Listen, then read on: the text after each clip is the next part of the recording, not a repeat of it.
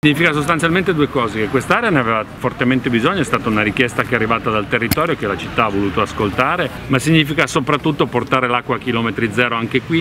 eh, ridurre il consumo di plastica è, di, di, bottiglie, quindi eh, che è uno dei principali scopi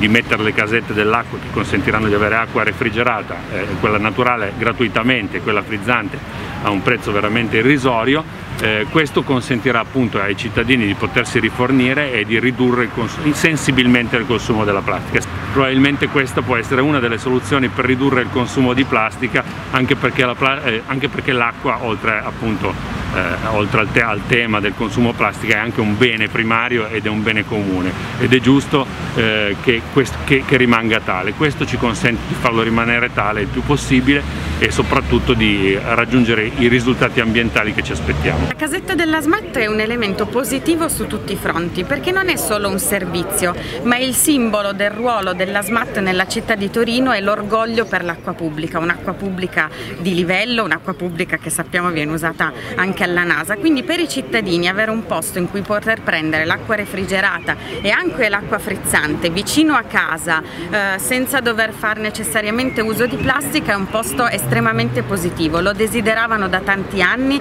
ricordiamo che le firme sono state più di 470 per chiedere questa casetta, raccolte nel 2017, qui oggi c'è anche il promotore della raccolta firme che ha lanciato quest'idea, aveva individuato un punto proprio qua vicino ma quello non si poteva fare tecnicamente, questo è stato il punto successivo e quindi la gioia è molto grande per le case che sono di fronte ma per tutto il quartiere. E poi alle sue spalle un cantiere, un cantiere che testimonia un cambiamento cambiamento che sta vivendo tutta quest'area? Che cosa sta succedendo alle sue spalle? In quest'area abbiamo fatto un percorso partecipato con la cittadinanza, eh, costruito insieme a loro, insieme agli uffici tecnici del comune, eh, una progettazione condivisa e adesso sono partiti i lavori che si concluderanno nell'arco di qualche mese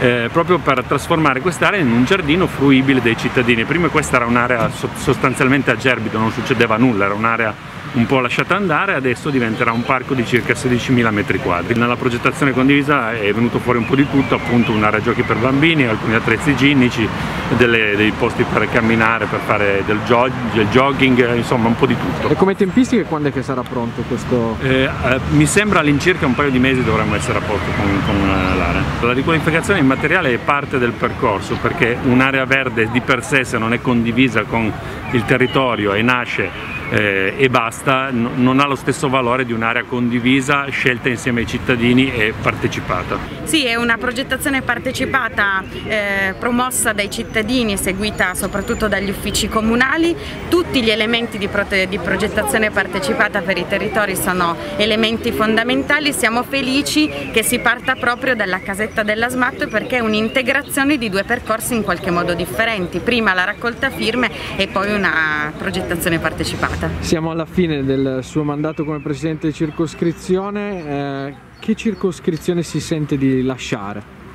Sento di lasciare una circoscrizione che fa ancora molta fatica per elementi pregressi, per problemi diciamo sociali, anche per le condizioni economiche, una circoscrizione che fa fatica per il Covid, ma una circoscrizione estremamente combattiva, con una grandissima voglia di farcela, con un grandissimo impegno. Quindi la lascio con veramente la nostalgia perché le, gli stimoli, i richiami, la forza che mi è stata trasmessa dalla circoscrizione 6 credo non avrei potuto trovarla in nessun altro luogo del mondo.